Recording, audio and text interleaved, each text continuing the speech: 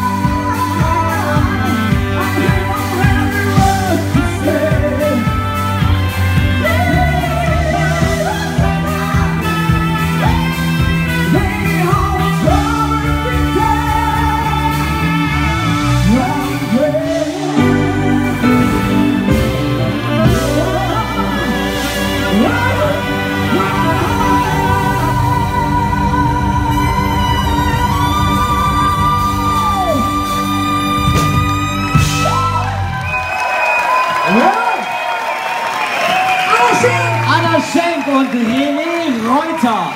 Genauso auch bei Facebook zu finden.